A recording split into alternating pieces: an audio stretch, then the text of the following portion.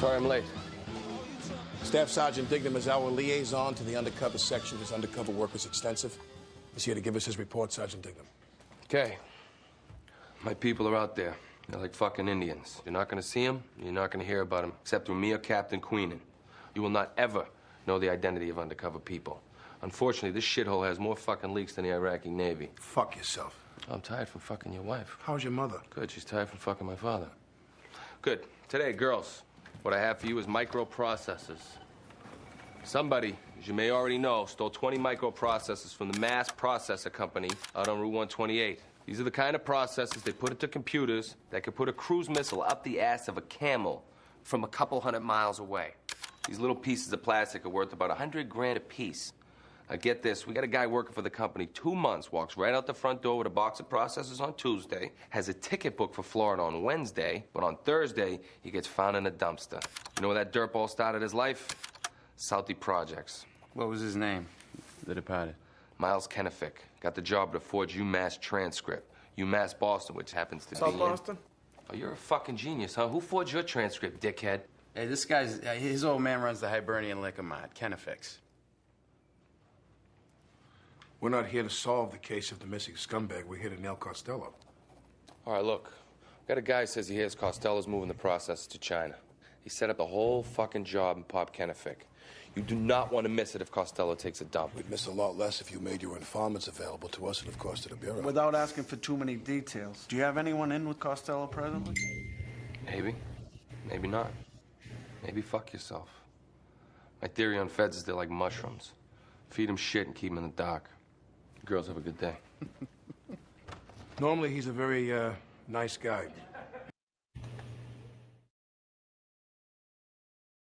Tonight, we'll discuss the New Bedford serial killer, and joining us will be a special guest, Aaron Cadjieux, who is producing a documentary series on the subject. 11 women were slaughtered and dumped on the highway within 18 months. 10 of those women had children. All of them were someone's child, someone's sister, someone's friend. They were all vulnerable, people who had fallen on hard times. Serial killers prey on those type of women for one reason because they're easy targets. But other types of women are, are easy targets too. We discussed one last episode, Sandra Birchmore, and Dave has very important news on that. I'm going to bring him on in a second so we can talk about it and so we can continue to make our plea for new information because it's working. People are reaching out. You've heard a lot on this channel about corrupt police investigations, but as we've also said over and over and over, the vast majority of cops get into it because they want to be on team good guys. No one is more frustrated than they are when they see injustice. However, it is hard for them to reach out because there's the whole thin blue line thing. Yet they are reaching out. The maddening thing about the Birchmore case is that if Sandra was murdered, there's almost no chance of ever bringing justice to the killer. The investigation is over. As Mizzy revealed the other night, a state trooper who was a former Stoughton police officer, was sent to interview the suspect. The Stoughton officer seen on the surveillance going into her apartment, hooded and masked, moments before her alleged suicide. So it would appear the fix was in from the start. It's hard to overcome that. Some superior had to send in that former Stoughton cop. It wasn't a matter of drawing straws. Uh, straws. Did this color the determinations made by the medical examiner? We can't know, but we'd be we'd be naive to think it didn't. She would have known that there were powerful players involved. No one has to explicitly order the code red in situations like this, whether it's mob bosses or powerful and dangerous police authorities. The people understand what's expected of them. I spoke with someone the other day from Canton who knows a lot of the players in this case and in the Karen Read case. He had some interesting thoughts and information. We'll go over it later tonight after the discussion of the New Bedford serial killer. But perhaps the best we can do for Sandra Birchmore is to continue to expose the suspect nature of the investigation, highlight any irregularities. We might not be able to do anything for Birchmore, but maybe we can help the next one, the next victim of corrupt exploitation, by keeping a spotlight on this. So if you're on Team Good Guys, keep reaching out. So let's go now to Dave, our crack investigator, and see what he's got. Hopefully, he's in here, and uh, he is not in here. Dave, where are you, brother? I'm not sure if he's if we can find him. Oh, there he is. I'm sorry. My bad. it wasn't showing on my screen for some reason. I had to scroll down. Good evening, everyone. Um, how are you, Kev? Good good evening to Uh, everybody doing in the chat. Um, just a couple things. We did obviously we did the Birchmore episode um, last night or the night before, and Team Good Guys reached out. Right, we have people reaching out to us who are within the Stoughton Police Department, um, reaching out to us, talking about things about Matt Farwell that may or may not have big, um, you know, um, repercussions on this case or little interesting things that we wouldn't think of that only would be known to people who know him. One of the most interesting things that I've come across is Matt Farwell was one of those guys like myself, I'm not going to lie about it, who was heavily against masks. Matt Farwell never wore a mask uh, during COVID.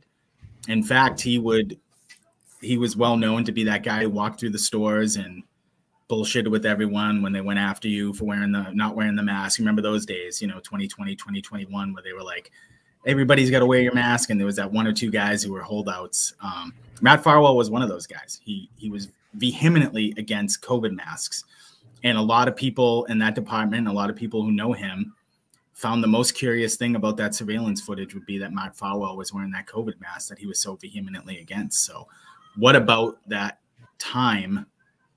And there's the surveillance footage there of you know little Sandra Birchmore. Um, uh, a young lady who was taken advantage of by guys like Robert Devine, Matthew Farwell, Joshua Heal.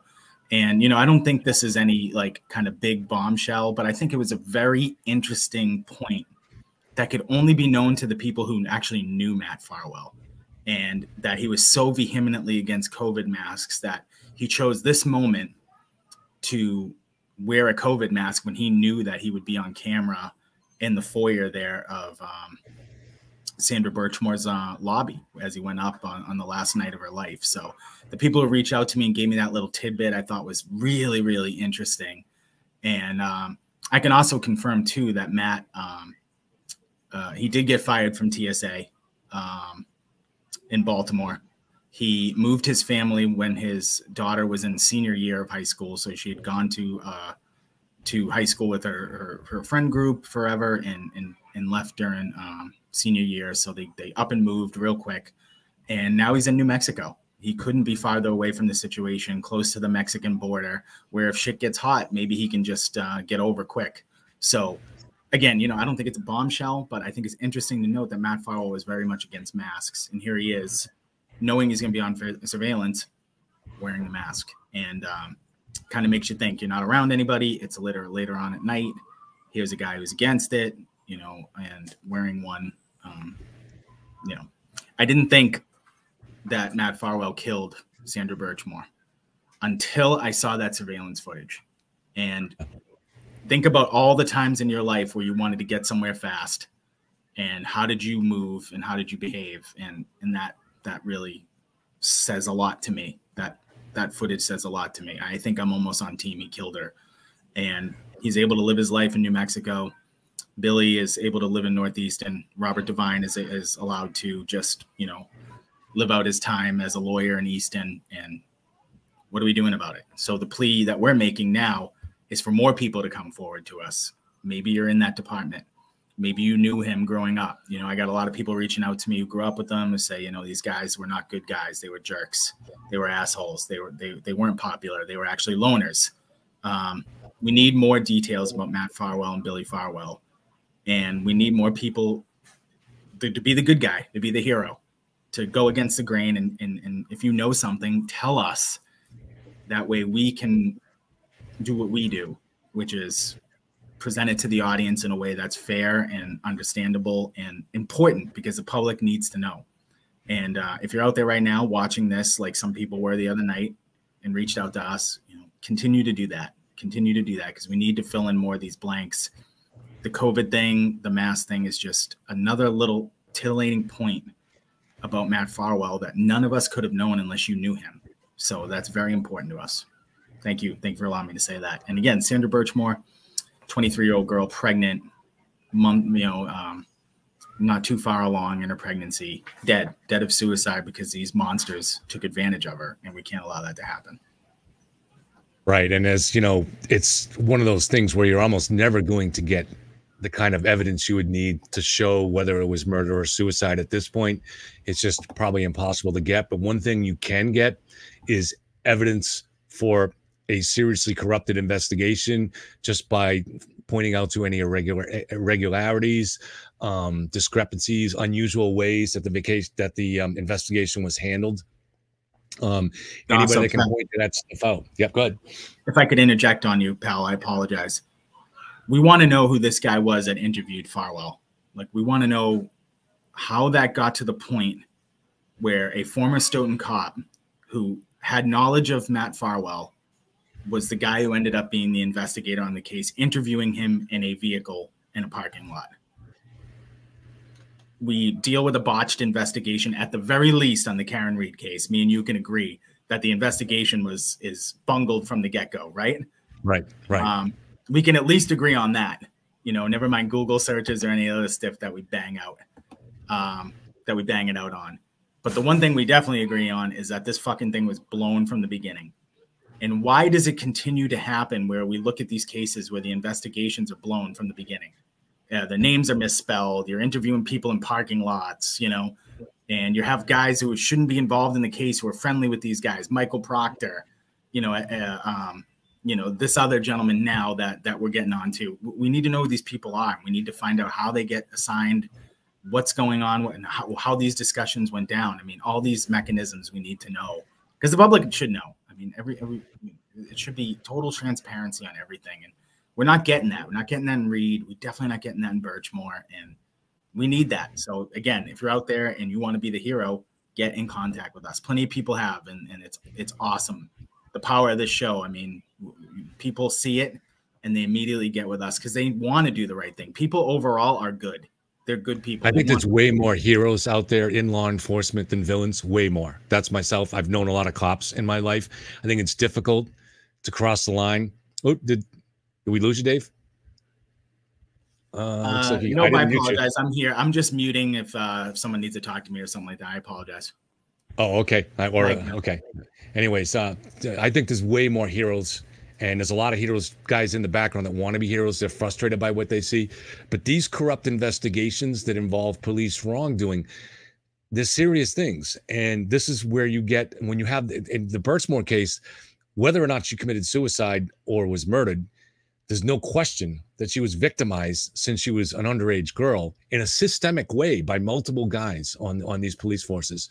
And I'm sure there were an awful lot of police officers there who were watching this and seeing it and were repulsed by it. And you're kind of in a tough, tough spot where you don't want to say anything. But now, when it comes down to something where a girl, I mean, uh, wasn't that Sandra in that video there that was walking into the elevator with a snow removal device? Yeah. Yes. I mean, you don't do that if you're planning suicide. And also, I'm, um, you know, we getting a lot of stories from people that Sandra absolutely loved her cats, and there was no way in hell that she would commit suicide and allow her cats to find her. As crazy as that sounds, you know, whatever. I'm not here to judge. People love their animals, and everything about this young lady in the time frame pointed towards the fact that she was not suicidal. She was looking forward to the baby, regardless of Matt Farwell was going to sign the birth certificate or not. She was going to have his baby, and she had a lot of things in life to look forward to. This guy shows up 20 minutes later, he's out the door, and then she's dead. I just don't understand. Uh, sorry, the kids are getting loud. Um, I apologize to everybody. And I know everyone's going to say, come on, Dave, go somewhere where they're not. Well, they're daddy's boys. I apologize. For the most Yeah. part, they're quiet. Um, Connor loves to hang around daddy.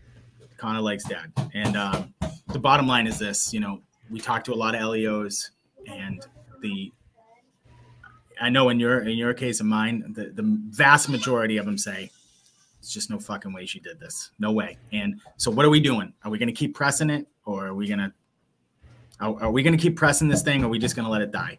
Karen Read, nobody, no, everybody kept pressing it, pressing it, pressing it. Look what's happening. Same thing with Birchmore. We got a little girl dead. So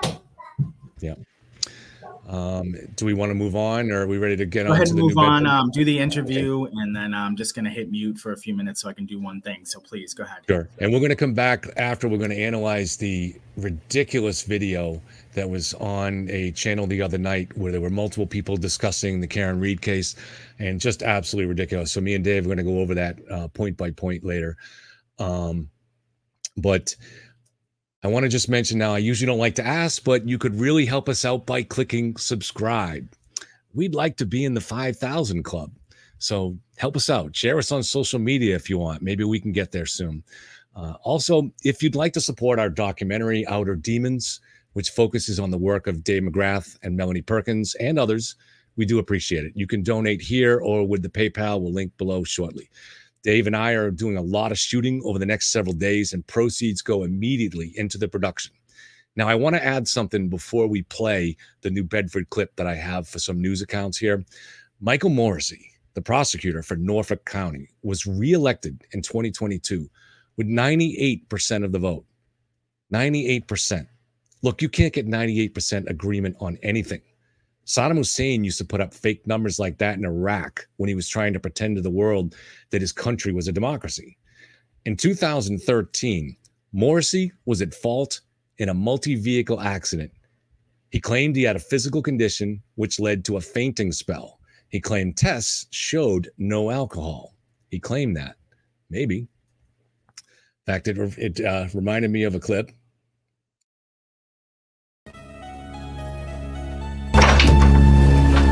Was no flight at 11 o'clock. What the fuck are you trying to pull? The first flight stateside left Guantanamo Bay at 2300. It arrived at Andrews Air Force Base, Maryland at a few minutes past 2 in the morning. Really? Then why isn't it listed in the tower chief's log? Jessup. What are you telling me? He fixed the logbook?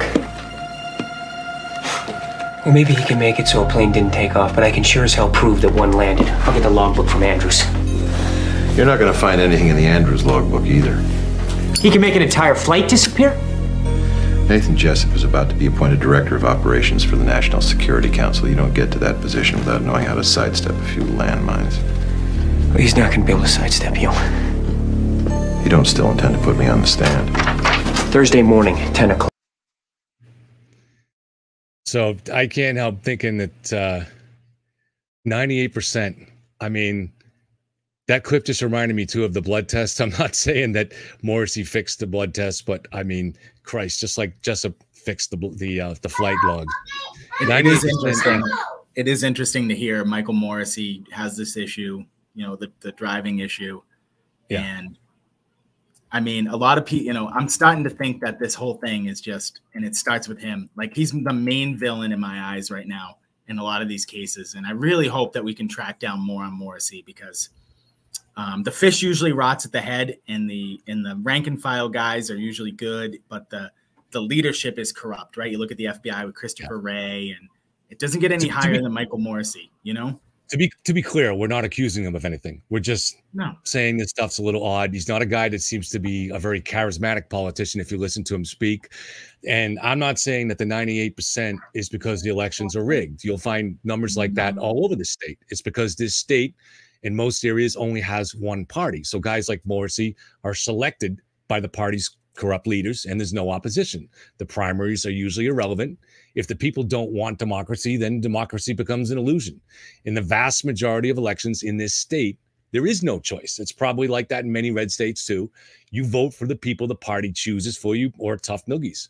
We're brainwashed by a monopolistic media and ideologically corrupt school systems. So most of us have no idea what they've done to us, what they're doing. If Michael Morrissey says his blood alcohol was zero, who are we to question it? If Michael Right. Morrissey says Sandra Birchmore committed suicide and his office had absolutely no reason to be suspicious about the hooded, masked cop that snuck in to see her moments before her death, who are we to be to question it? So let's. I got a clip here from the New Bedford things, And, and I think he ran, last point on that, I think he ran unopposed. I think there was nobody on the fucking ballot against him. Think about that. He did. That's how it is in most of the elections. That's how it is. That's how you get to killer more than 98%. You have 30 no choice. years after the last victim was found. The New Bedford highway murders terrorized the South Coast back in the 80s. 30 years ago this month, the dawn of one of the most horrific crimes this region has ever seen. Hey, Deborah Medeiros. Only suspect ever charged in connection with the serial highway killings in Massachusetts has died. 61 year old Kenneth Ponte was found dead in his New Bedford home on Tuesday. Officials say his death does not appear to be suspicious. Ponte had been charged with murder after the remains of nine women were discovered along highways in southeastern Mass. However, he was cleared due to a lack of evidence. One victim's family believes the case is one tip away from being solved. Skeletal remains of a young woman have been found along a southeastern Massachusetts highway.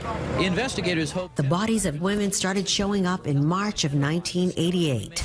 11 women go missing in six months. I called the police station. I told them I thought my sister had disappeared, that she wasn't around, and was told that I have to understand that junkies disappear all the time. All had disappeared from the same area in New Bedford. It was ludicrous not to admit that it was a serial killer. Now, no one has ever been charged for the murders, leaving a cloud of mystery hanging over southeastern Massachusetts for three decades. Such a bad feeling. Judy's sister, Nancy Paiva, became the second victim of the New Bedford highway killer.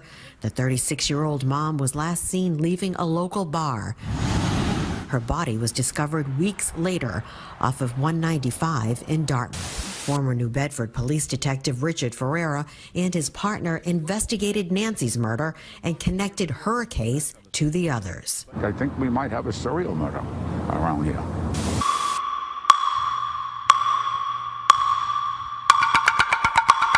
July 30th, 1988 dawned steamy and hot. Judy DeSantos and her family were on Route 195, returning from a day at a public pool to cool off and clear their minds. That's because Judy's sister, Nancy Paiva, had been missing for weeks. As they passed through Dartmouth, Judy spotted a medical examiner's van on the side of the road. I just knew it was her. Over the years, police identified suspects, but no one was ever charged with the murders. The body of Nancy Paiva was pulled from the woods that afternoon. She was one of 11 women who went missing between April and September 1988. It's the most difficult case I've ever investigated. The hardest thing for me is the families, and particularly the families of the two girls that we never recovered the remains of. That really haunts me. Investigators who worked on this case say with little physical evidence and no video, the best chance of solving this case will likely come down to a tip. For families, there were glimmers of hope as the police set their sights on a suspect, attorney Kenneth Ponte. Absolutely not guilty, Your Honor. He knew all of the women who were found dead. He had ties to all of them. Ponte was charged with the murder of one of the women, but the case against him was thin and charges eventually dropped. Ponte died in 2010. Another suspect, Anthony DeGrazia, was never charged, but while under investigation, he took his own life in 1991.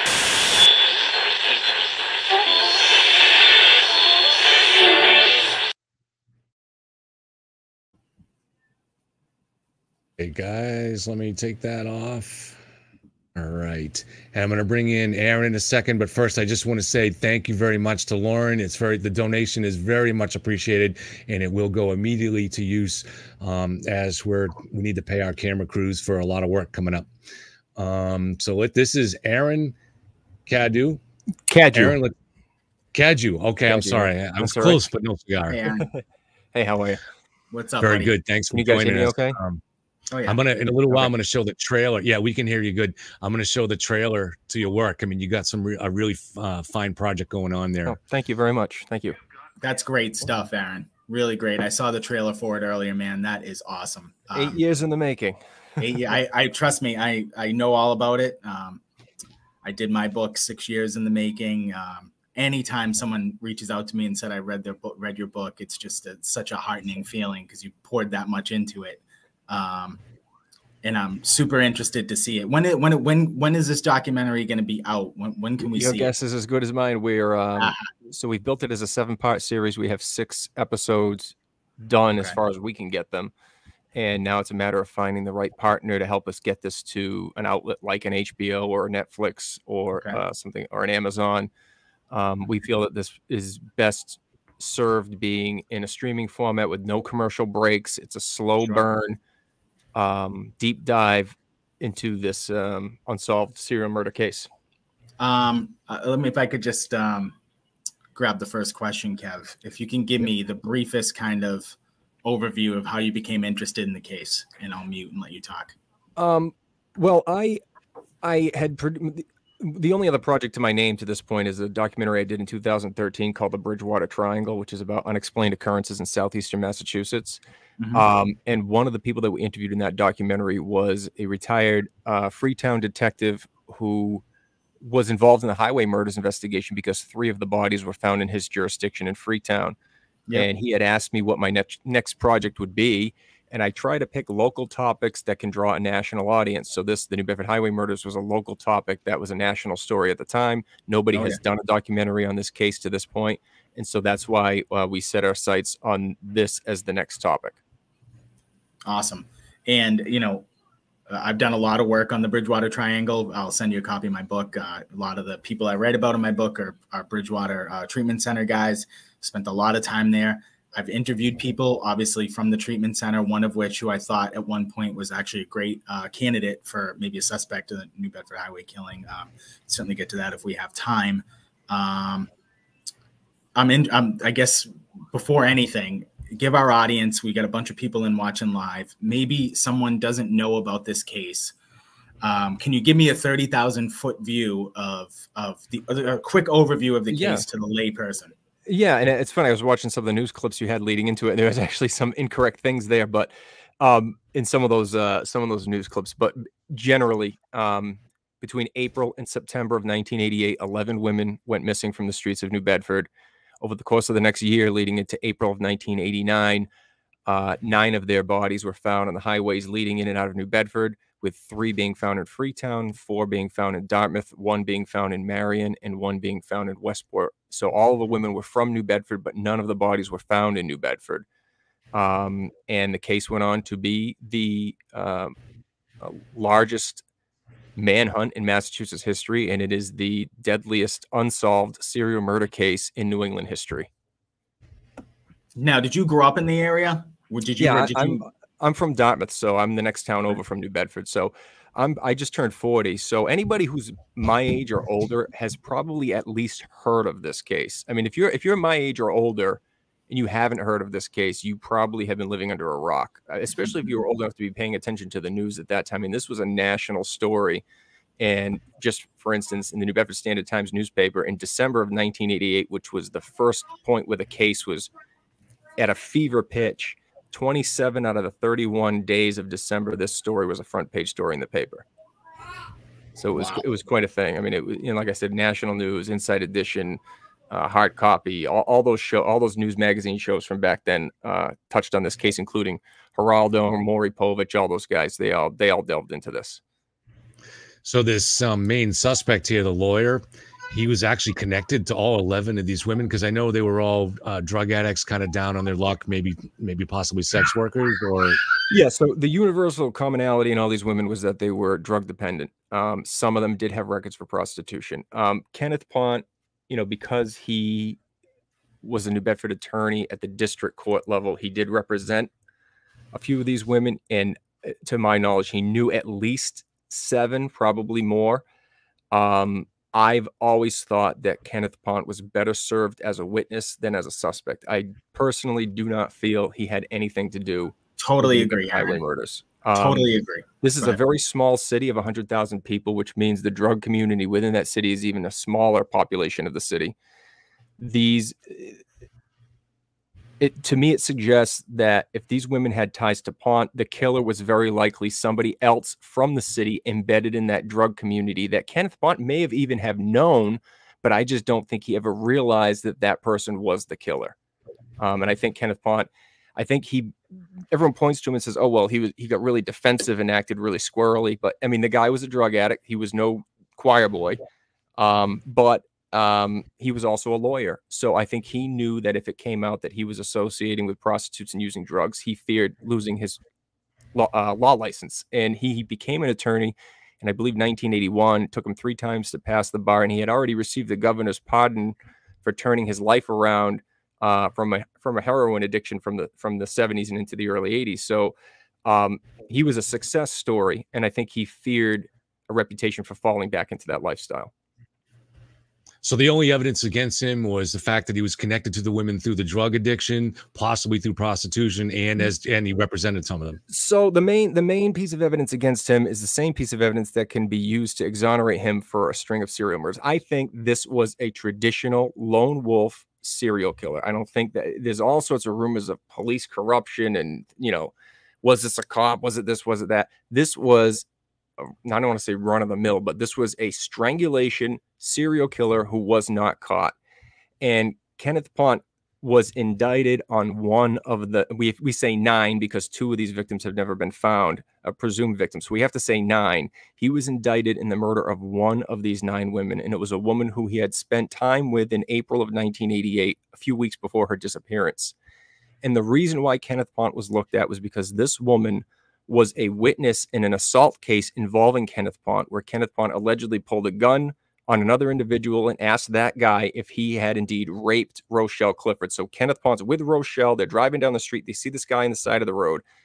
Rochelle says to Kenny Ponte, "Hey, that that's the guy that raped me." So they get out of the car. Kenny Ponte pulls a gun on the guy because Kenny Ponte at the time was a deputy in the, uh, uh, auxiliary deputy in the sheriff's department. He was allowed to carry a gun. Yep, he was. Um, he was a like Bristol, Bristol County Sheriff's uh, auxiliary yeah. deputy, which I um, it's a place where I've been employed for a good bit. Just left. Yeah, under Sheriff Nelson had appointed yep. him, and so he mm-hmm. could serve papers and things like that as a lawyer. So he had a gun. Yes. So he walked up to this guy Roger Swire, who's now deceased, and said, "Did you rape Rochelle?" And this confrontation ensues. Eventually, they part ways.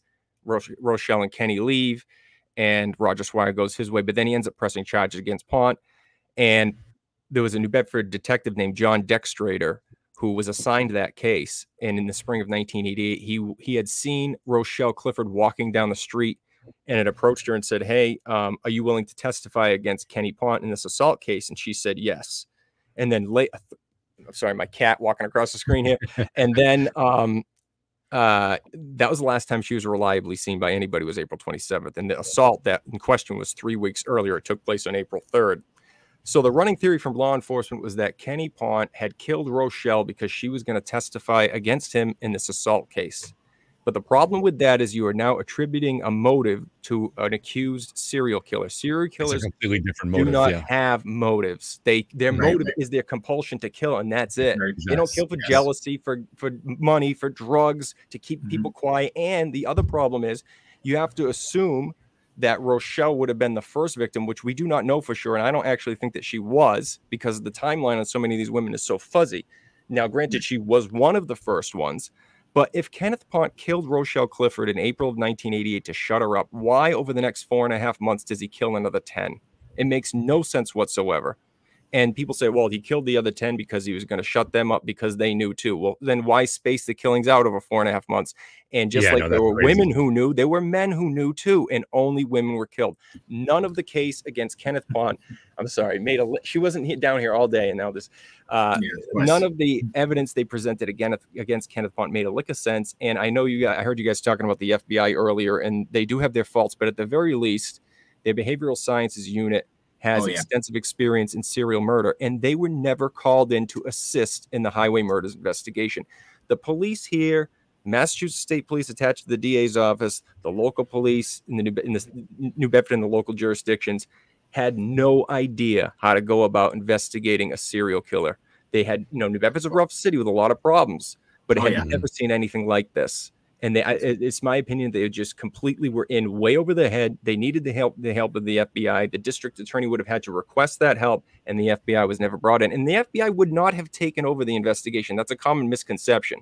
The district attorney would have still retained control. It would have been a situation like in Atlanta when the child murders were going on, and they and they ended up getting Wayne Williams for that. The FBI yeah. had agents embedded in that investigation. And I think had the FBI been here, the first thing they would have told District Attorney Ronald Pina is get off Ponte. It's not him. Yep, specifically um, John uh, John Douglas, who was very very involved in the Atlanta child murders. Wayne Williams, um, and he was a behavioral science guy at the time. Is it possible, Aaron, that we have multiple killers? Do we I have? doubt it. I mean, if you look at the statistics of serial killers, I think it's like one in twenty million is the chances of somebody being a serial killer. We are we're dealing with a city of 100,000 people You know, mm-hmm. there's there's some people that say, well, what is was it a copycat? Well, that was one of the running theories Right. was that there was a serial killer and Kenny Ponte killed Rochelle the copycat. Well, the problem with that is these murders took place between April and September, but the general public was not aware that there was a serial killer. Even the police were not aware that there was a serial killer until the end of the summer, early fall, and the general public was not made aware of it until November or December of 1988. So the murders had been over for two months. So, in order for somebody to be a copycat at the time that the murders were happening, they would have had to have known the other killer and known that person was killing women and knew where they were dumping the bodies. It, it's just it, it, it runs into the realm of of being almost a statistical impossibility that this that any of these were a copycat and that they were multiple killers. Um, the I think it's one in one in 20 million chance of being a serial killer. Small city of 100,000 people. 1% of all murders across the country are serial murders. And in that 1%, 75% of the time, it's a lone wolf killer. And the other 25% of the time, if there's multiple killers, it's usually a sibling type situation. So the, the statistics and the, and the odds of it being multiple killers just don't they don't make a lot of sense given the timeline and just general statistics. Uh, a couple of questions, Aaron. In not not at the time, but in the last thirty years, has anybody come up with a profile of the killer? Any kind of an FBI or Yeah, professional so profile? we and talk about the- second question. Just I'll ask them both to you at once. Um, is there a reason, or even a, a theory as to why he's killed so often in eighteen months and then stopped? Um, well, one of the misconceptions about serial killers is that they can't stop when in, when in fact many times they do, especially serial killers that go unapprehended. By the time they hit the 50s and 60s, th- there's always a sexual element to these crimes. And as these guys' testosterone levels drop, they can lose that urge. So that you got stopped you- in a like the Golden State guy, though. for instance. Yeah, they they can stop. And there's a variety of, variety of reasons why they can and do stop. Something as simple as a, a change in their personal life can cause a serial killer to stop. Like they got a new girlfriend or they met a new woman or, or, or something like that. Exactly. Guys like BTK. I mean, BTK stopped for 10 years and he got basically drawn out by the media attention. Exactly. Really. A book came out on the case and he, he had seen it and he had decided, okay, you know what? I'm going to finish my story. I'm not going to let this guy write my story. But go ahead, Aaron. No, exactly. And, and what was the first question?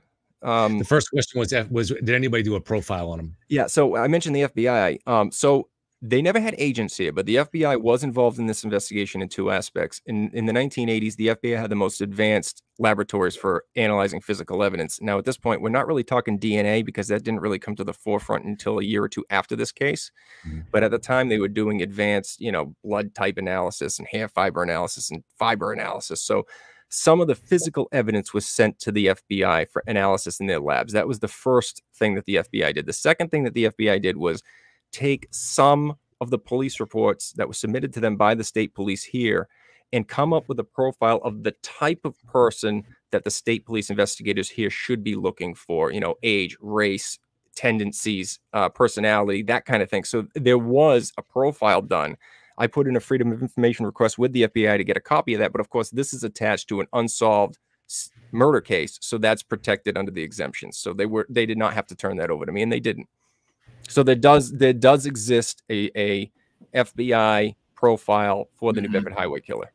Have you done a FOIA request to the feds trying to get anything, or is it just always open investigation? It's really Well, the- hard. The, the only thing to, put in research a these. FOIA for the feds with is, you know, any results they got from the testing of physical evidence or um, that profile. And I did put a put a FOIA request in for the profile and was denied uh, based on the exemption that this is an ongoing investigation. It's so tough. Why wouldn't I they work- release that now, thirty brutal. years later? I, I don't really understand because that. there's no statute of limitations on homicide and the running line from no matter who's the district attorney in bristol county is that this is an active and open investigation they can just they, they could not be doing anything on this case and i don't think they're doing much but they could just hide behind that blanket statement and forever just prevent the general public from getting access to anything worthwhile They can, but if they really want to solve the case at this point, it makes more sense to make that kind of a thing public. Absolutely. That's really what Sure. they want to do. It I- makes I more agree sense. 100%. Frankly, it makes more sense to give guys like Aaron that sort of information than have Tom Quinn, the DA here in, in Bristol County. Are you in Bristol County, Aaron? yeah bristol county yeah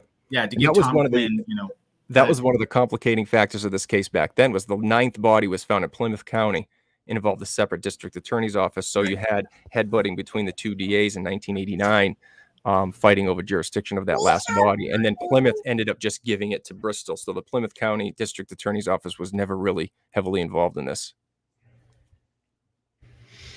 That's amazing. That's great. So, I'm so- imagining too, um, real quick, Aaron.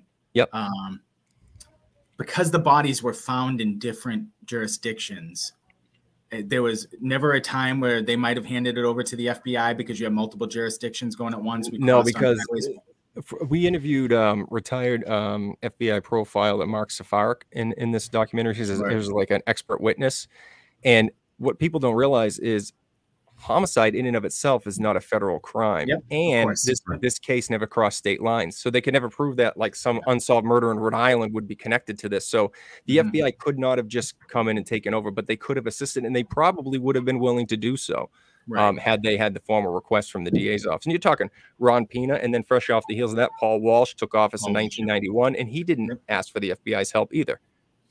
They could Very request it now. Could request it now. 35 years after the fact. I mean, I mean, Yeah. if, if there's still, you know, for instance, looking for someone's mentioning DNA, if they have DNA off clothing, or I mean, I don't know if they in 1988 they might have had the foresight, the foresight to take it off of a body sample too, right? Well, yeah, I mean, you see, you, know, Yeah, you see sorry, guys like D'Angelo. D'Angelo went down for DNA, the genealogy. I mean, that's how these cases. That's the future of solving these cases. Um, the the thing, my guess is that they do not have the DNA profile of the as yet to be identified New Bedford Highway killer. And the the the, the thing that I can point to for that is in 2007, um, or 2006, I should say, uh, Sam Sutter was elected district attorney in Bristol County. His campaign promise was that if he was going to be elected, if he were elected, he would reopen or re-examine the highway killing case and he gets elected and the first thing he does is you know re-examine the case and the first order of business in 2007 upon his election was that they dug up the former property of Kenny Ponte looking for the two bodies that were never found. Now, here's what I have to say about that. In 2000, they had Kenny Ponte's DNA. He submitted hair and saliva samples back during his time as a suspect. If they had the DNA profile of the as yet to be identified killer in 2007, they very easily behind behind the scenes quietly could have either ruled Kenny Ponte in or ruled Kenny Ponte out based on a simple DNA analysis and not gone through the big dog and pony show of getting everybody's hopes up and digging up his property looking for these bodies. They never would have done that if they definitively knew Kenny Ponte had nothing to do with it. I think it was more or less a publicity stunt. It was a you know, I'll reopen this case if I'm elected. And you know, he felt like he had to do something, and digging up Kenny Ponte's driveway was what he did. But if they have the DNA profile of the killer, it would have had to have been something that they've come into possession of since 2007. And given the state of decomposition on these bodies and the fact that so many of them were found completely naked and had been subject to animal predation and things like that, I do not think they have the DNA profile of the killer. Right. It's interesting too. Um, obviously, if if there were only of the nine that were found, they were all found. None of them were buried. They were all found on the highways, right, on the edge of the highways. So it's it would be odd for him to bury the two, you know, two other with the ones. Be exception of one. The so one of the nine, uh, Rochelle Clifford, which coincidentally is the one that they had indicted Kenny Ponte in, was the only one of the nine not found on a highway. She was in a gravel pit off the Reed Road exit off of Route 195 in Dartmouth, about a half a mile to a mile north of the actual highway, which is another reason why I think Kenneth Ponte didn't fit the bill. I, whoever hmm. killed these women had to be somebody with an intimate knowledge of that area. Yeah. And I don't think for a second that some district court attorney from New Bedford who was uh, who lived in the city, he had an office in Dartmouth, but another part of Dartmouth that was closer to the to the main, main hub of New Bedford. I don't think he would have even have known that that gravel pit existed off the Reed Road exit. It was not something that was known to people that weren't from from the area or had some sort of an intimate knowledge with that part of of, of Dartmouth. It's so crazy you mentioned that exit because that's the exit I used to take. I take every night to get to work from Providence to the Dartmouth House of Correction, and every time I get off that exit, I think about it.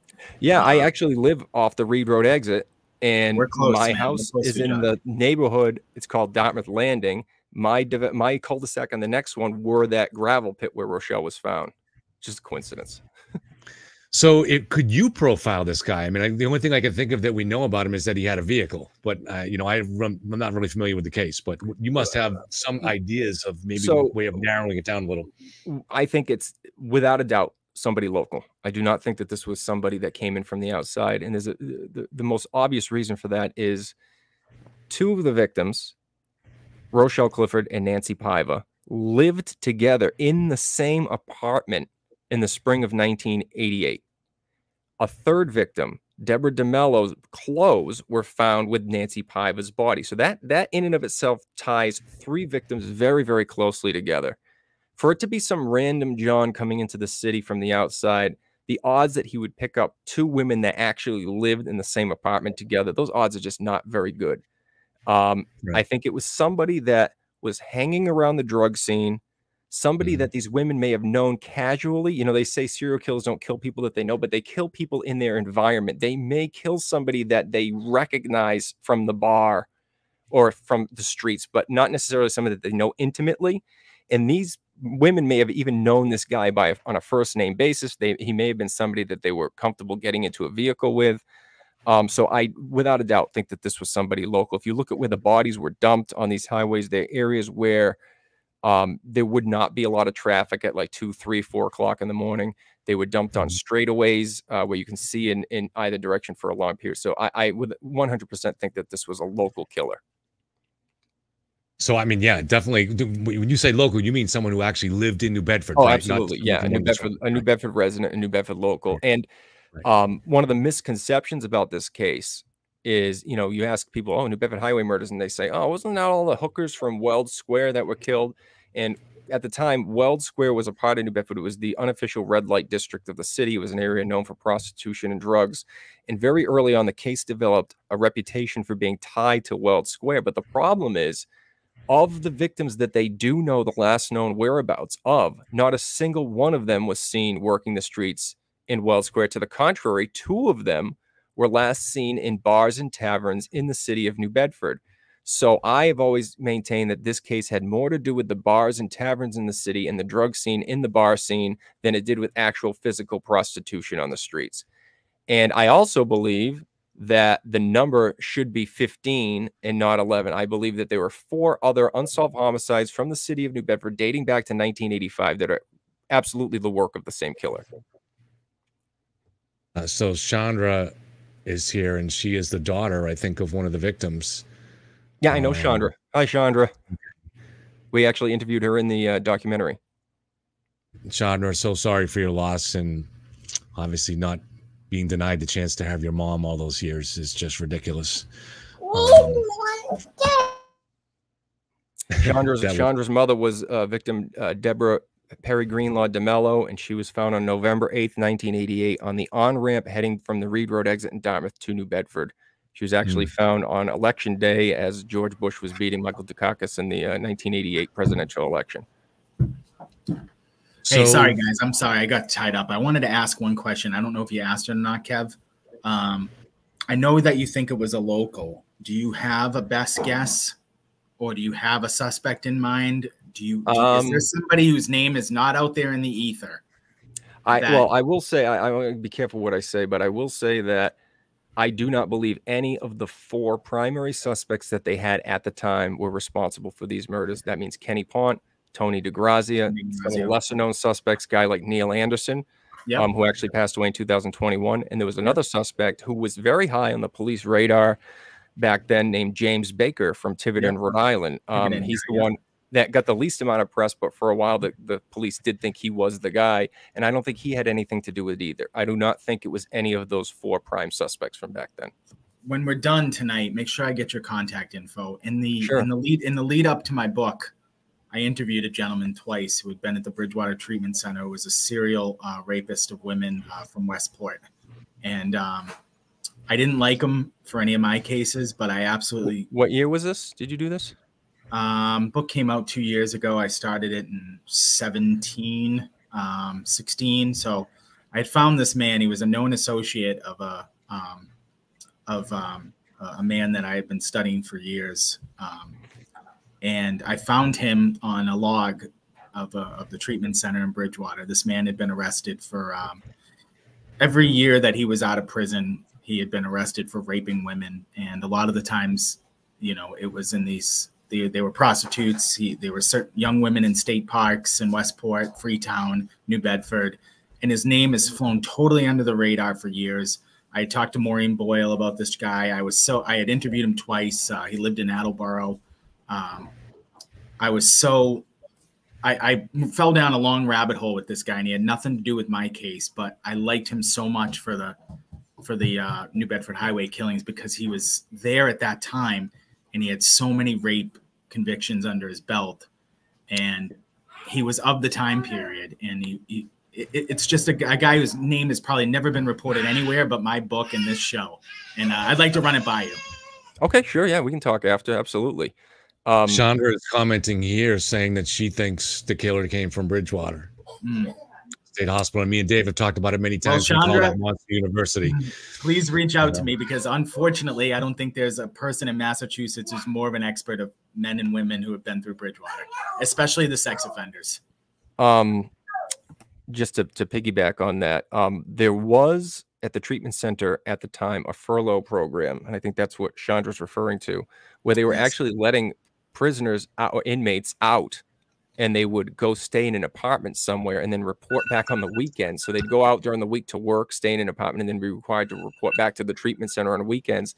Yes. And some of those guys were being put up in New Bedford at the time, and it's a good theory um, there is another individual who does research on this case who takes that theory a little bit to a level where I don't necessarily agree. Mm-hmm. Um, but in and of itself, the the theory that these ki- the killer could have been somebody from the treatment center who was on furlough in New Bedford is a, is a very viable viable theory. Um, I just don't agree to the level that he takes it. Yeah, there was a guy so named think, I'm, I'm, I'm, I'm, just curious. I mean, if I don't think I want to give you a chance too to Aaron to answer um, Dave's question, Aaron. I don't think we got back to if you had any suspects. Then I know it seemed like maybe you were uncomfortable to name. Yeah, I don't. I I, I don't really want to go there in this forum, unfortunately. In terms of, uh, uh, I, but I, like I said, I will say that I do not think it was any of the four prime suspects from that time period. I I, I don't. Right. I, know. I think we're certainly not asking for names. Yeah, yeah. I'm just asking. No, we're not you know, for example, you could say, all right, this guy had to have had a car. He's dropping all the bodies on. Uh, he, so, oh yeah, local a, guy so with access to a car. car he, yep. he probably had a job back then. It, uh, certainly, and I mean, unless he inherited money, he probably had a job. So and so he lives in New Bedford. He has a job. He hangs around the bars, into um, drugs or into the drugs. Probably into drugs, into somebody prostitution. who very possibly could have been friendly with Kenneth Ponte. Um, there's another individual in this case that I feel is the most important living witness in the New Bedford Highway murders case, and that is the boyfriend of Nancy Paiva, a guy named Frankie Pina. No relation to District Attorney Ron Pina, not not related at all. Um, but Frankie Pina lived in the same apartment unit with Nancy Paiva and Rochelle Clifford before they were both killed. Frankie Pina was the last person that Rochelle Clifford was seen alive with on April 27th when she was approached by Detective Dextrator to testify in that assault case involving Kenneth Ponte. So she was with Frankie Pina in that moment. They were walking together on the street. Two months, uh, three months later, when Nancy Paiva, Frankie's girlfriend, goes missing on July 7th, she walks out of a bar in the South End called Whispers Pub. She's last seen walking up County Street and somebody offered her a ride. She declined. That is the last time she was seen alive. And Frankie was in the bar with her that night. They had had some sort of disagreement, and Nancy went storming out of the place. So now you have a guy who lived with two of these victims and was the last person that each of them was with before they disappeared. But Frankie, later in the summer, goes to jail on an unrelated assault charge, and he's incarcerated when at least one, if not two, of the other victims disappear. So I do not think that Frankie was involved knowingly in these murders, but I absolutely think that the killer would have to be somebody that was hanging around Frankie and that Frankie likely knew. Um, it just it, for him to be so closely tied to two women and be with them shortly before they disappear suggests that Frankie deserved a closer look, much like Kenneth Ponte, as an important witness in the case. And I know Detective Dextrator, who unfortunately had to leave the department as the case was heating up on a medical and never came back. Yeah. When the yeah. case was first starting, he was in contact with Frankie because oddly enough, Frankie is the one who reported Nancy missing two days after she goes missing. So Dextrator was kind of suspicious of Frankie because he realizes, okay, I lo- I saw this guy with a woman who I haven't been able to track down for this for testifying in this case, and now he's reporting his own girlfriend missing. This guy's suspicious, and you can see why he would have thought that. Um, so he kept in contact with Frankie when Frankie was in jail, leading Frankie to believe that, you know, I'm actively involving investigating Nancy's case, which Dextrator was, but he also was suspicious of Frankie. And I don't even think Frankie realized that. But once Dextrator took his leave, Kenny, uh, Frankie Pina wasn't really spoken to much after that point in time. He did testify to the special grand jury that they had impaneled during that time to investigate the case. But by that point, the special grand jury was honing in on Kenneth Ponte. He, Kenneth Ponte was indicted only days after Frankie Pina testified. So you know at that point, the only thing they're asking Frankie about is Kenny Ponte. They're not asking about anything else.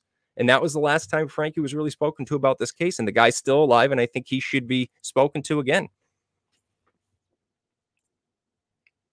Oh, I am not hearing you guys. Sorry Oh, about that. buddy. Okay, yeah, okay, Um, yeah. Go ahead, Dave. Sorry, I was fixing my phone. To, don't have to give me a name. And, and again, I've, I've written a lot about true crime. I wrote a whole book on true crime. I know it's very important not to name people. Um, but do you have somebody in mind that you go, fuck, I wish I could nail this guy, but in my heart, the evidence, my intuition tells me it's it could be this guy. Um, I I can't answer that here. I'm sorry, guys. I can't I can't Okay. answer that. I'll I'll say no. Okay. I can't answer that right now. Well, you guys can take what, from that what you will. Can do. How about this, Aaron? You you're you're are you done filming the documentary? So we have six of the seven episodes done. Um, We're trying to finish the seventh, and we would need a partner to bring this to the forefront. Um, there's some issues with um, licensing that we need assistance in funding the licensing of some of the archival material that we want to use, and we need to make sure that we're protected legally for any legal pitfalls that might come along the way. So Mhm. it's we're we're actively searching for a partner. We've had people approach us. We are in talks with a couple different entities right now. So you know it's been a long time, and I understand people are probably frustrated. And this is like the watch pot that never boils. Um, but it's been an unhealthy obsession of mine for eight years, and we will see this to the finish line. It's just a matter of finding the right partner, and it's a big part of it is not wanting to lose. You know, we we know there's no such thing as complete control, but a lot of these people want us to sign on the dotted line, which we would just lose complete creative control Yep, of this project, and we've taken it too far to watch that happen. Yeah, I, I run into that in my own life. Trust me, it's it's it's it's just impossible nowadays to navigate the system and get something down done in a timely fashion. Um, where can we find you on socials if people want to help fund this thing? If people want to follow you, what you're doing? Yeah, I'm on we find you? Facebook as Aaron Cadjieux. Uh, I think I'm one of only two in the world. I think there's another one in Canada. Um, but the high the uh, project has a website, highwaymurders.com. People can leave information there. First of all, I'm going to preface this: if you have relevant information, take it to the police, but then bring it to us. Um, so we have the website, highwaymurders.com. Uh, you can uh, leave information there. We have a hotline that you can call anonymously and leave information there. So there's ways to get in touch with us. Um, my email for the project is Aaron. Uh, actually, my email for my company is Aaron at bristolcountymedia.com. That's the best, probably the best way to, to reach me. Let me play Alright, this man. trailer. I forgot to play it, Aaron. So let me do the trailer Yeah, from your documentary. This is really good work, and then we'll talk Take a about look that. at this, guys. It is awesome. It was Fourth of July weekend. My pager went off, called the station, made a phone call and found out that Lakeville Police wanted my assistance. And I drove up to the scene. I met with a female who apparently had gone into the woods to make a rest stop and came across the skeletal remains of a female.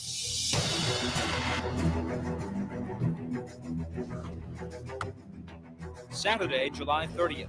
The remains of a body were found in a wooded area off Route 195 in Dartmouth. The second victim that we've identified is a woman named Nancy Piper. As soon as the second body was found, right away, I said, I think we have a serial killer on our hands. No arrests have been made. The families of victims have suffered most. She was one that always wanted to do good to herself. She really was a good, caring person. I was always hoping that she was alive. All those bodies started popping up on the highway, and my uncle Wayne thought to himself, "That sounds like Debbie." Well, we were on a normal liver patrol, and one of the workers come and got me, and you know, it was a human skull. Six specially trained police dogs will be searching selected secondary roads and highways throughout the area. DA says police are now looking at a number of possible suspects who are known to frequent or travel through the Weld Square area. New complaint is issued against Neil Anderson for assault with intent to commit rape. Tony DeGrazia became a suspect because of what he was known to do for the for the girls in the streets. Former New Bedford attorney Ken Ponte appeared in New Bedford Superior Court charged with beating and killing Rochelle Clifford Dopierala. I demand that your harassment of me be stopped immediately. Do I agree with the way he handled the case? No, I don't. There's a nice name now of one that who killed her. Now it's 27 years we're at. My grandmother went to her grave without ever knowing what happened to her daughter.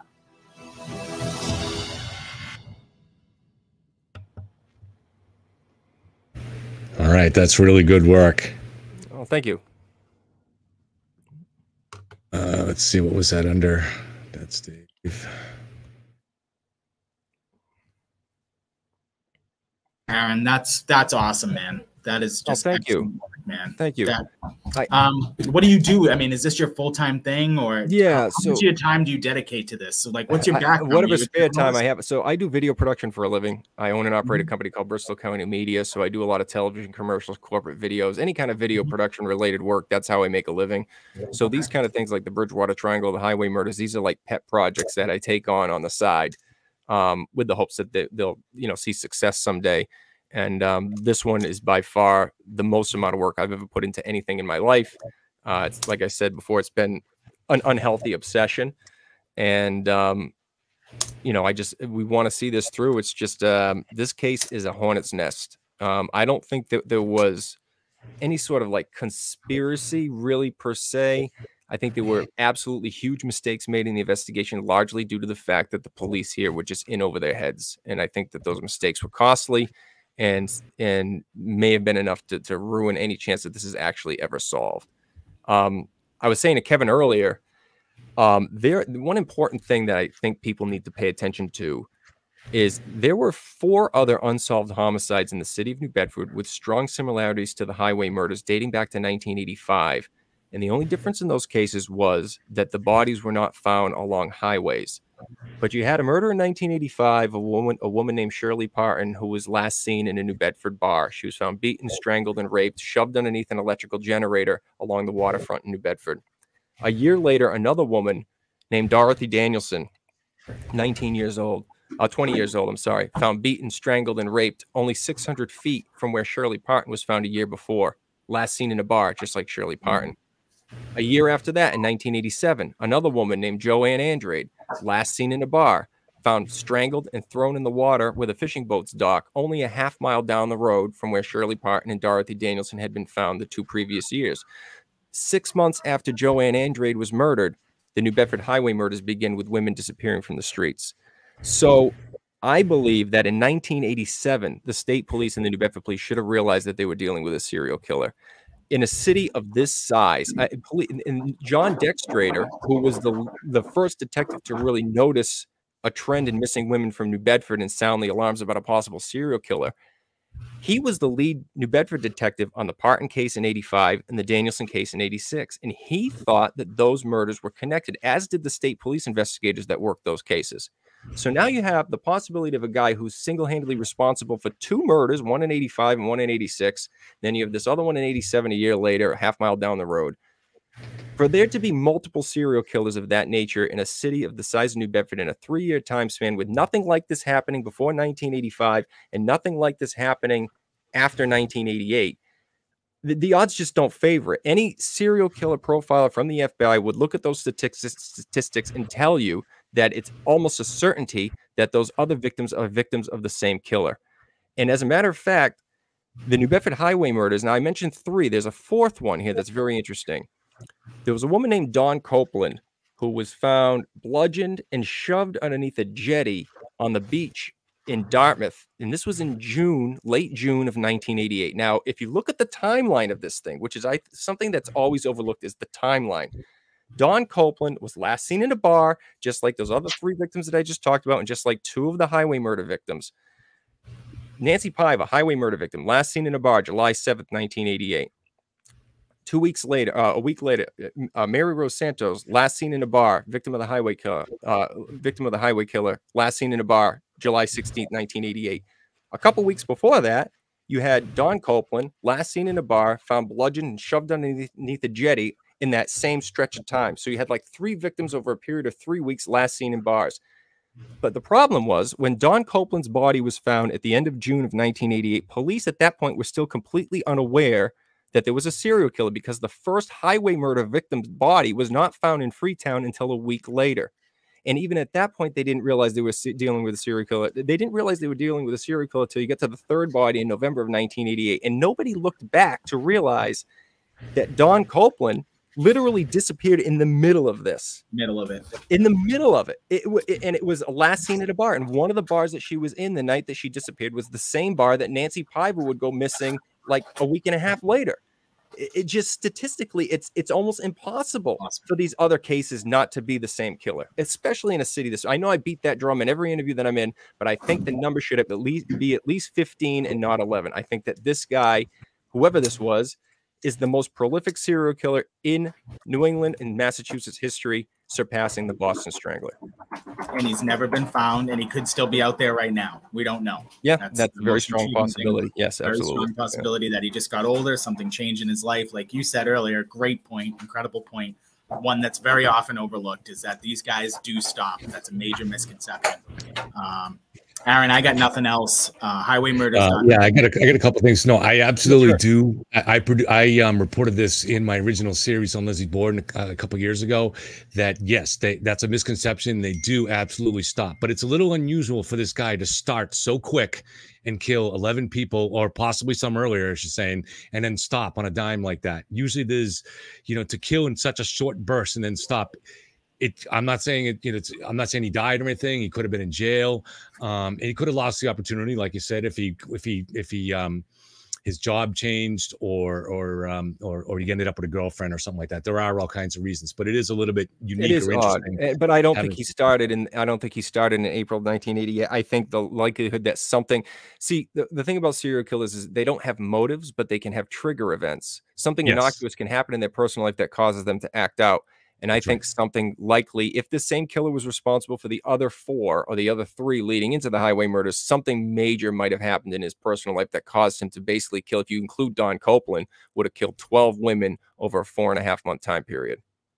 now would you speculate that in the earlier killings he didn't have a car since he wasn't dropping them off the highway I think he probably had a car because uh, with the Dawn Copeland case, if you include hers, there were tire tracks on the beach where she was found but to indicate that she was dumped from a vehicle.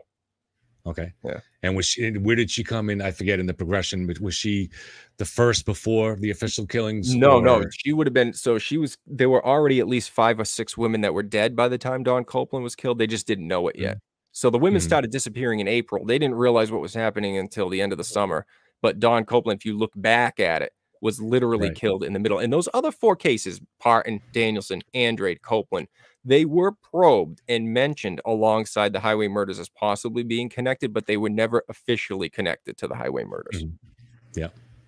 Okay. Thanks. Well, are there any other true crime cases you follow, or any other serial killers, or anything you're investigating? Um, not at the moment. This one's just kind of absorbed my existence for the last uh, eight years. I, I've I've learned a lot, done a lot of research. I can. uh, It sounds like uh, boasting to say this. Um, um, outside of Maureen Boyle, who wrote Shallow Graves in 2017, she was the first reporter to start covering the case and covered the case front to back for the New Bedford Standard Times. Outside of Maureen Boyle, there's not a person on this planet that knows more about the highway murders case than I do. Aaron- like I'm, I'm a boasting jerk for saying that, but outside of Maureen Boyle, you will not find somebody that knows the case better. Aaron, me and you are kindred spirits, man. You have no idea. Um, I'll catch Al- up with you after the show. catch, catch up with me after the show, pal. Thank you so much. I can't wait to see it, bro. Oh, thank I you very really- much. Thanks, guys. Anybody who's interested in Aaron's It's been a work, pleasure having you. Thank you. No, it's been great, and I, I tend to motor mouth about this, so thanks for putting up with my crap. totally fine. We That's love all right. it. Well, we'll we'd be happy to have you back, and maybe we maybe we'll even do something on the New Bedford Triangle, or no, the Bridgewater Triangle. The Triangle. Bridgewater Triangle. Yeah, I'm a major skeptic when it comes to that. I did the documentary, but I am a major skeptic. But um, I, I'm willing to talk about that too. I, I'm Thank totally you, a skeptic, but at the same time, I find it fun. I love a good story. It is. so it why is not? a lot. It's a lot more fun and a lot lighter than this. That's for sure. Yeah. All right. So we'll definitely do it. Thanks, Aaron. Thanks, Thanks, guys. Aaron. Thank Take you, it easy. Aaron. Thanks for having me. Take care. Bye. All right, guys, that's Aaron. That was awesome. I love I love this case. I love the New Bedford Highway killing case. It's so interesting. Um, it's just you know the worst serial killer in the history of this in the history of this area, and still unsolved. Still unsolved. There's another one up in that's that's even less known up in Claremont, New Hampshire, but we'll do that one someday. That's Yeah, uh, know it well. That's a big Yes, one too that went on over the period Mhm. period of years. Um, so I wanted to just give you some good news, Dave, and everybody else that I got while I was sitting here. um, that I made the quarterfinals for a screenplay competition. The only one I do and the only one that matters because it's put on by the Oscars people. And the reason it's good news for us, Dave, is because the screenplay actually was inspired by Have You Seen Andy? So I wrote it when I had COVID.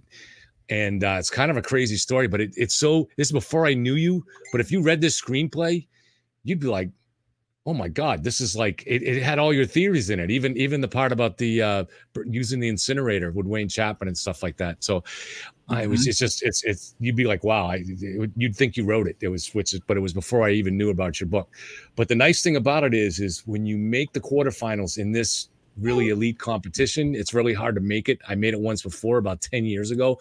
You get contacted by a couple of dozen or more agencies and studios that want to see your work.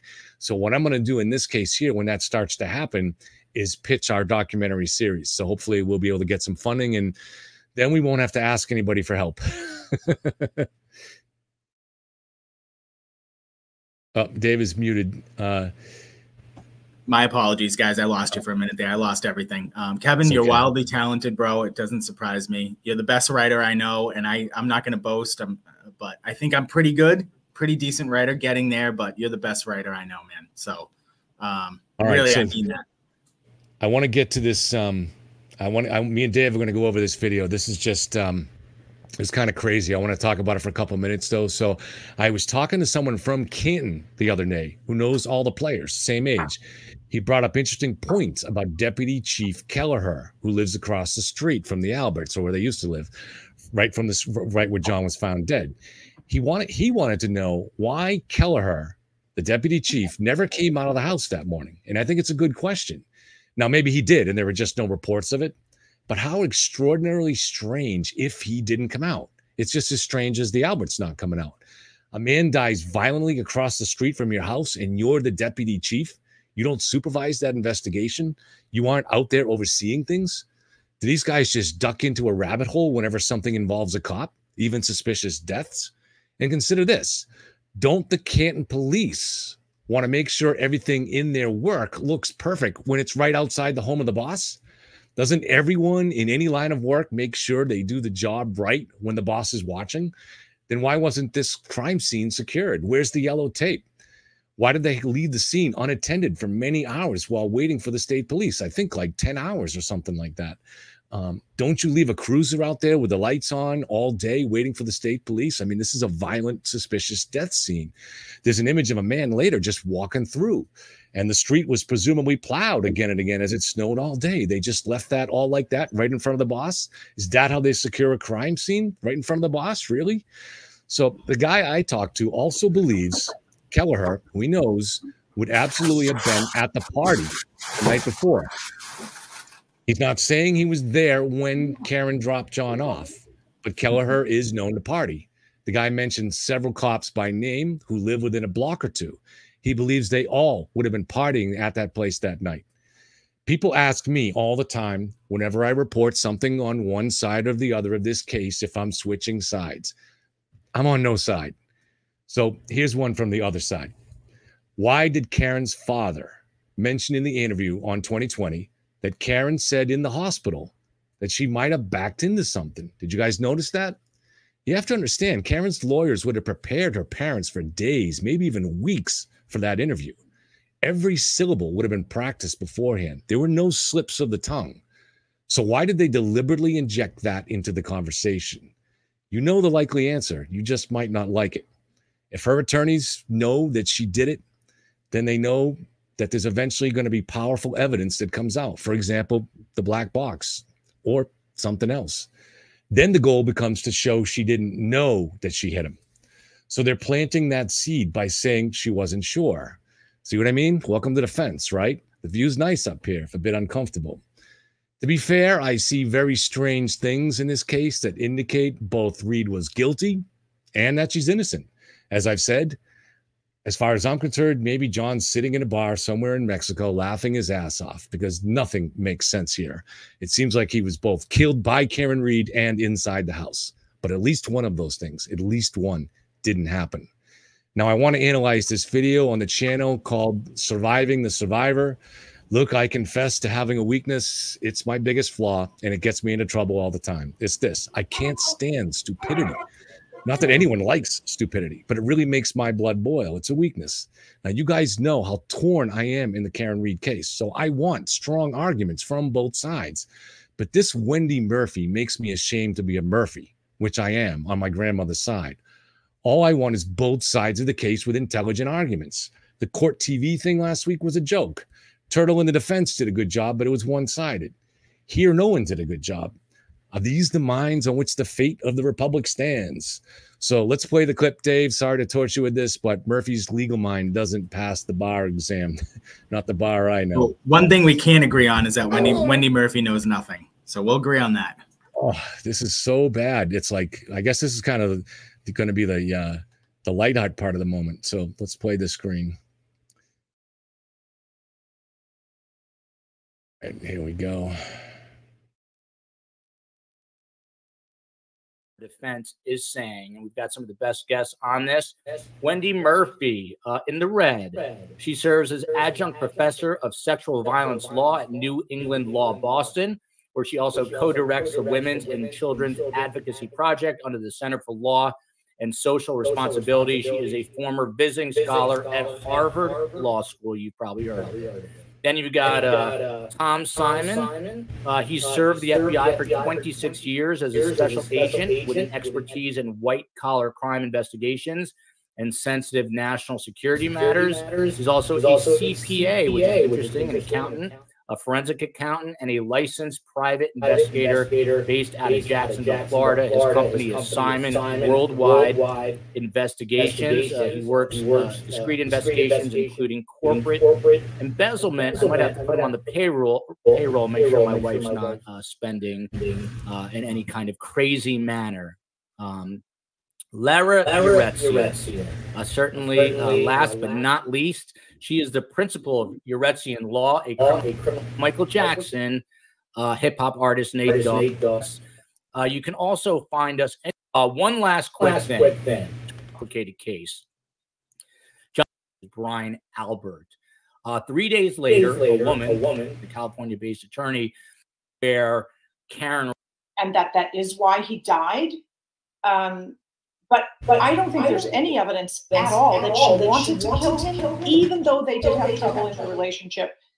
The, the bottom line for me is what does the evidence show? And the most compelling evidence by far is her own statements. I mean, we're talking about things she said not only to multiple witnesses, um, and, and I mean multiple witnesses, right after this happened, but also what she said to police and what she said to police that is you know, indisputed. I mean, unless you're going to say that every witness, not just the police, but all the witnesses she spoke to are all lying about the fact that she said she dropped him off, she did a three point turn. And then when he didn't come home, she said, and, and you know, when she realized the next morning that maybe something happened, she said, Oh my God, I hit him to multiple people. I mean, even even her own father recently said on television that she said to him, so he's going to be part of the conspiracy too, if this is all a big lie. She said to him, I think I hit something.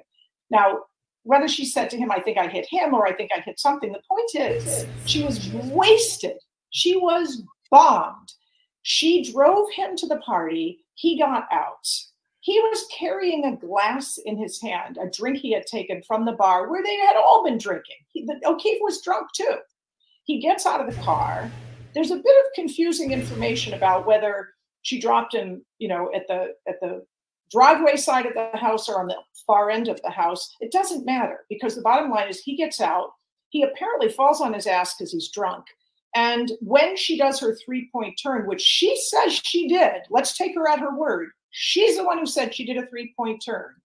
If she backs into him, and oh, by the way, she ends up with a broken tail light, which she didn't have before she hit him. Uh, pieces of her tail light are found at the scene where his dead body is. Um, and there's no real explanation for how those pieces of her tail light got at the scene right near where his body was found. If she backs up and hits him because and she can't see him because he fell on his ass before she knocked him over, which would make sense. That's where his injury is, right above his right eye. He gets slammed back and and and fractures his skull, which is how he ends up dying. Apparently, there's some hypothesis. Can we cut it right there, real quick?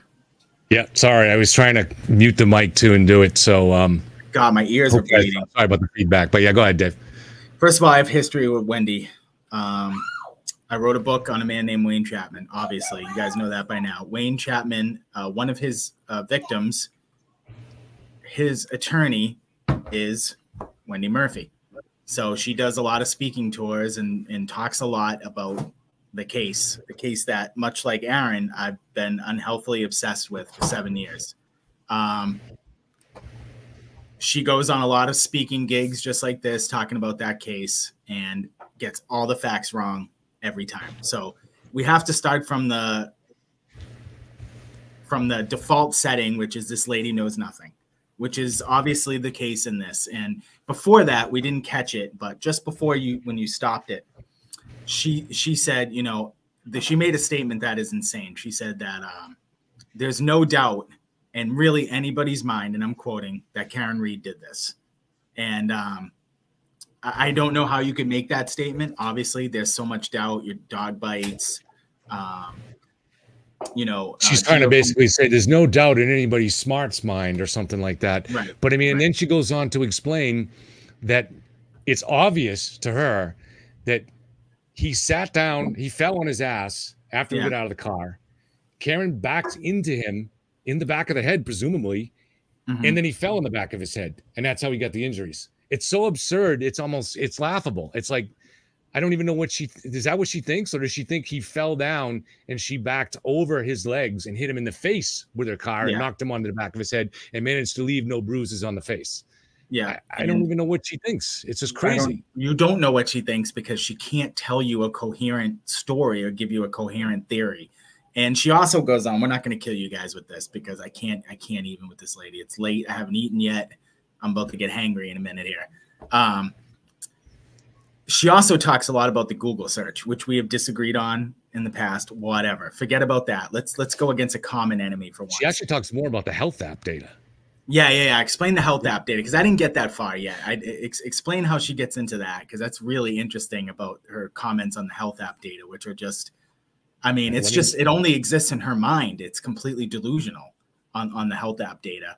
Um, and also she talks a Only lot. of two, because he then gets buried by a blizzard. Mm-hmm. But the fact is, his head gets slammed down. He gets a fractured skull in the back, and everybody knows. I mean, this is not unusual knowledge. I was a prosecutor for many years. I worked with her lawyer, Yannetti. We worked in the same office. Um, we all know that if, if someone gets a bad head injury, they're going to end up with bilateral uh, black eyes. It's a common response to bleeding from head trauma. Um, and those are his injuries. And So Wendy, what what do you no think? He, for how What do you think- Daylight ends up with his body. So why they came up, why the defense came up with this cockamamie theory about the conspiracy among the cops because they actually beat him up. It's so nonsensical. Oh, but I think it's and she just froze up there. hurting- Even yeah. it's Um, hurting the defense credibility. I think Yannetti is a great lawyer. I think he's destroying his credibility. You think? And I think we all need to admit something. And then and then I'll re- and then I'll shut up. We have to understand something. Defense attorneys can and do pay money to PR firms or bloggers or whatever to put nonsense into the court of public opinion and to whip the public into a frenzy. And I'm sorry to say this, but today the public is only too happy to believe that cops are bad, they're doing bad things. And so it sticks. It right, sticks can you stop even it when there? there's no rational basis for it. But let's understand uh-huh. that. okay let's let's stop there obviously she's insinuating that the defense found instead of going to fox news or whomever although i trust turtle boy ahead of all of them anyway um, she's insinuating that the defense went to turtle boy you know wrote him a check and said this is the information that you're going to put out into the ether. Um, and she's also she's almost insinuating that like it's a common thing that's known in the law community that hey this is what happens you know? We they pay money to bloggers to put you know radical conspiracy theories out into the ether which is i mean that's a wild accusation to make kevin on on a. On it doesn't even really matter to me because I just want to look at the evidence. I don't really, you know, I'm grateful that Turtle Boy has given us a lot of evidence, but I look at it independently. And uh, I, so I, you know, why should we let any blogger or any news source don't let them make up your mind for you analyze the evidence yourself and we've all analyzed this evidence and we all have a variety of opinions on it and that's all we're all big people we all know how to make that decision right. we're not being uh, you know i don't think most of us are being told what to think by turtle boy he's making an argument and he, either it convinces you or it doesn't hey here's the facts you know facts are you know he has a dog bite dog disappears we have a home that's in the family for a generation. They sell it for 50k cheaper than the market price. They all run into hiding. They they they don't defend themselves in public. If me and you were being accused of murder and we were guilty, uh, not guilty, I'd be on Fox News every night. I'd be talking to Tucker Carlson. I'd be on Fox 25. I'd do Turtle Boy show. Everything. I mean, there, I, I wouldn't run away from it. I mean, all of the normal things that an innocent person would do is not being done right now, and that's bizarre. And that does not even gone into here the um, Google search and you know, how long to die in cold. She she makes moronic points about that, like, oh, we all know that's nonsense. Uh, no, we don't, Wendy. We don't know that's nonsense. In, in it's fact, dispute. I mean, there are experts on much, both sides. It's, you know, I mean, very much in dispute. Um, um, we, we didn't even not even getting into the. I mean, not once in this show did they mention that there's a grand jury. Not once did they say, oh, by the way, these people have been subpoenaed by a grand jury to discuss this case. Not once does that come up, Wendy. Don't you think that's an important point? All right, so I want to I want to play it on a little bit if, you, if you'll play along with me, Dave, because she talks about the health app data, and this kind of bothers me too. Yeah. And I think it can be explained how she ends up in this very erroneous position, but it's also reviewing. This lady, this lady just drives me nuts. I mean, she does. Go ahead It's a tactic that the defense uses in some cases. Spend money on PR, get the media to whip the public into a frenzy about nonsense, and hope that it translates into something advantageous for your client. The conspiracy theory that the cops are all in this and they killed him after she left. Stop. Bullshit. Stop. Stop, Kevin. Stop real quick. Again, a, a, conspiracy theory that the, all these people, it doesn't take that many people to get together for this. By the way, it's not like this big grand fucking thing. And by the way, by all accounts from everyone who who talks on background, they're already ratting on each other. They're not making Facebook posts, but they're behind the scenes ratting on each other right now. Just so you guys know, okay? And as far as conspiracy theories go, again, you know, go ask the Tuskegee guys you know, uh, uh about conspiracy theories 50,000 black men being inje- injected with syphilis. Go ask the Johns um, during Operation Mockingbird and, and, Paperclip when they were spraying them with LSD to, to uh, find a new truth serum. Truth serum, all right, when the CIA was trying to find truth serum, and they'd lure men in under the guise of sex, and then they'd spray things on them. All right, it just never ends the amount of things that we've done. So don't give me the bullshit that it's not possible because these people could never get together on a case like that. Stop. It doesn't take that many people. Sorry. I mean, you, the, the, more people that it requires to be involved in it, the higher the mountain you have to get over to prove that there might be a conspiracy.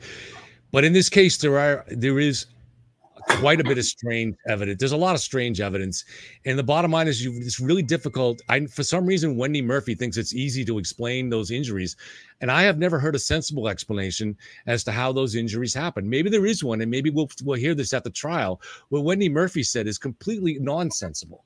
So I mean, somehow he's he, he's sitting on the ground. He gets hit in the back of the head, and then he falls in the back of his head and ends up 12 feet on the lawn, lying on top of his phone. None of right. that makes sense. None of that makes sense. I mean, that, it just that theory is so incoherent that she could almost be Jen McCabe's lawyer. I could actually see her taking over for Reddington. She needs to work on this case if I was Jen, I'd fire him. I mean, I you know I think I could do a better job defending defending her than that. I mean, that's just oh. absurd. I don't. Who was I, the Who was the fifth guest on the show? Who was the fifth guest? Pants of crust. I'm I'm almost expecting Pants of crust to come on. And we, we probably won't get this far in the video, but when they go to the one person who's def, who's on the defense side, she Murphy's constantly rolling her eyes and this and that. It's like, dude, be respectful. You be know, respectful. I mean, all right. So let's. Well, um, she's smart. She's a learned lawyer, Kevin. She's a lot smarter than you. She went to Harvard. Wendy, uh, tell us how you really feel. The Boston Passion, real quick, Wendy. Uh, what should she have been charged with? Manslaughter. Manslaughter at best. At best. Okay. If you don't want someone to die, if you're not intending that they die, but you do something reckless, like you're too drunk to look out your rearview mirror carefully and make sure no one's behind you before you do a three point turn, that's manslaughter. And that's what she should have been charged with. And if he were not a cop, that's what she would have been charged with. And she never there, once there were some interesting Kevin. Google searches from the uh, someone connected to uh, the police officer whose house uh, the person who was having this party. We're going to get to that, um, which is the defense's case. Uh, we'll That's get also into nonsense, but we'll get to it. We'll get we'll get it. we'll get into the weeds on that. Uh, Tom Simon, uh, we're looking at a photo right now of Karen Read and uh, her now late boyfriend John O'Keefe, a Boston a guy named Alan Jackson, who In fact, there never saw a body at 2:30. is showing him they were out drinking, but uh, Zero. The only really important thing to remember here is that everything that was done and said up to you know the first three days after this happened is, is sort of it was it, everybody was in agreement that she hit him. Even she was in agreement. She hit him. It was by accident. Um, and she was devastated it, the things only went south after they started talking about charging her, her with murder because they weren't they weren't getting along in their relationship. And I think when you overcharge someone, you get an over defense in the other direction. I want to say something about this unbelievably silly idea that he had somehow gone into the house. All the witnesses just lied about that, right? All of them. And they weren't all cops, by the way, but they all just, and they weren't even all adults or they were young adults, family members all lied and said we never saw him come in. That makes no sense. But here's the thing about that iPhone data the very data and the very technology the defense says proves that he was walking around 80 some odd steps shows that that data was was um, created hours after he died like, like he supposedly took 64 steps at 10:30 in the morning he was already dead and in the hospital I mean, this is so, this is why it's so nutty to even say this out loud. When a jury finds out that the defense has been making up nonsense stories in the court of public opinion to try.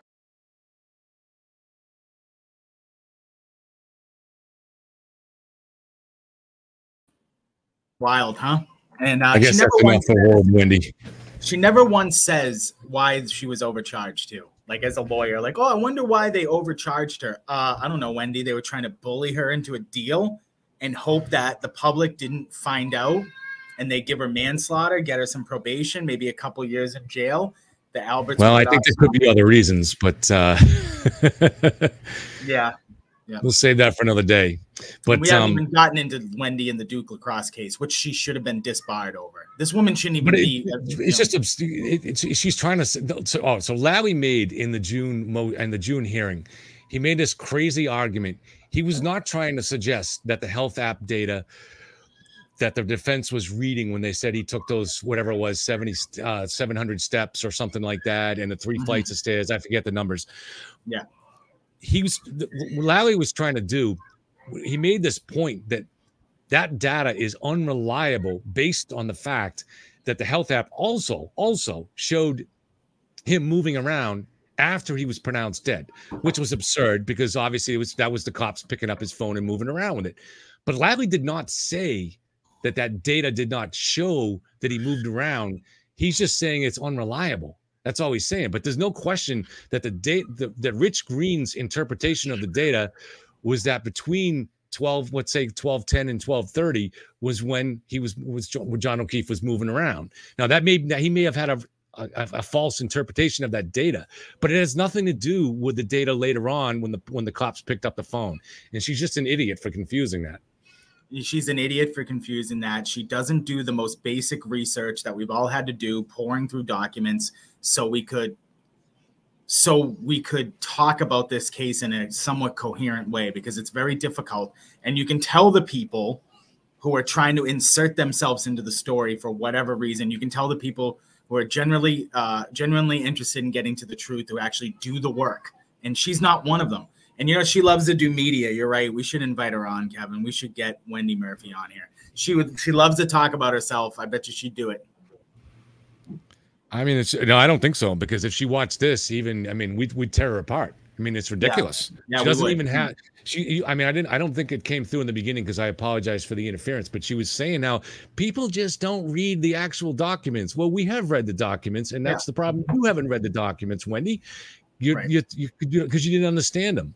I mean, there's no way. Listen, I dispute. I'm not sure if what Rich Green says is accurate, but I know he doesn't. he- He's not confused about the phone moving around after 6:30 when the cops finally picked it up in the snow uh you know there, there may be other questions about that data maybe the phone maybe the, like so a health app might be confused when you're driving slowly or something like that i don't know maybe there's some other reason for that app you know for, for people having different conclusions on that but it has nothing to do with what she said and it's just it's if you're going to make a case make it smart do do do the smallest bit of research, you know, and yeah, yeah, yeah. Um, all right so we uh get anything else we want to talk about we have anything you want to mention about upcoming shows Um, got a lot coming on Sandra Crispo, and that's all I can say right now. If you're interested in that case, bolo on us.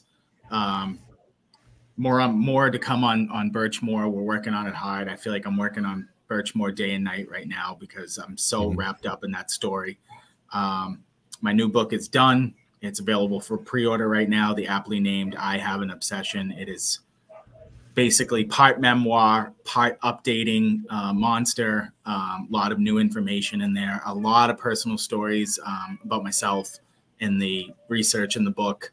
I'm so proud of it, and um, So please order that book, guys, because actually that really helps in the sales. If there's pre-order, I, I don't know if you know that, Dave. That really helps in the in the algorithm on Amazon. Is that available on Amazon to pre-order? It is available on Amazon for pre-order. I'm doing a special right now. The first 50 pre-orders are all autographed copies.